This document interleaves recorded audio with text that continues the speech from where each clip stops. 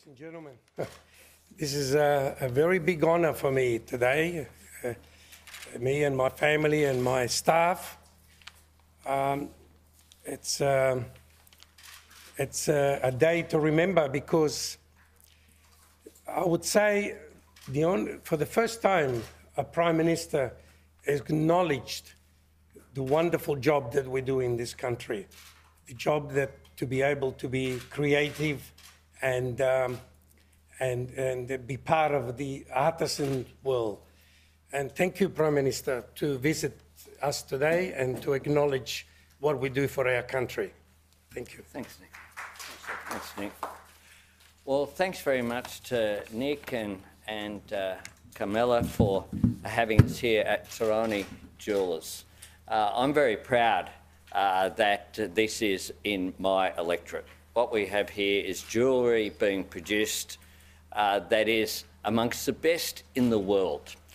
Barbra Streisand and Celine Dion have sat in that room there and chosen jewellery from here. Uh, we have uh, jewellery, jewellery uh, worn at every Academy Awards, every Emmy Awards globally. Uh, this is something that we should be proud of. And for Nick, uh, this was his uh, one bedroom, I think it was, terrace uh, when it was bought here in Leichhardt, that is now uh, exporting to the world incredibly high quality product. Taking Australia's natural resources, our diamonds and other gems, our gold, our silver, our extraordinary natural assets, producing something that is unique and beautiful, and creating jobs around the same time. Uh, Nick has always insisted on having at least five or six apprentices come in every year, building up that skills base, uh, that artistry uh, that can make us proud and can adding value. And this successful business is part of the great Australian migrant story. Here in Leichhardt, in the heart of the Italian community, the fact that this was a one bedroom terrace, that was the bedroom just behind where the cameras are there, has now, of course, this is just one of the stores uh, here in Australia, but also a presence in Los Angeles and around the world, Japan, uh, exporting to the world. just behind where the cameras are there has now, of course, this is just one of the stores uh, here in Australia, but also a presence in Los Angeles and around the world, Japan, uh, exporting to the world.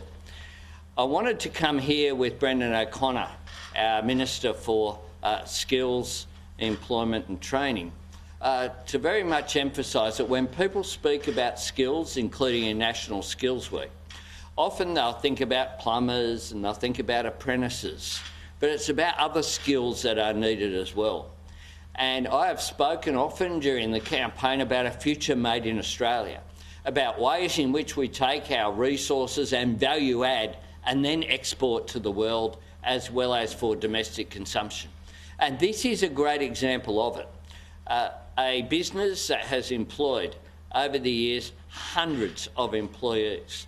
A business that is well run, you can always tell because when you walk around, when people say to you, I've worked here for 40 years and 35 years, is what, which is what we heard downstairs, that sort of loyalty and pride in the work is something that uh, brings great credit to Australia and particularly uh, brings great credit to the Cerrone family.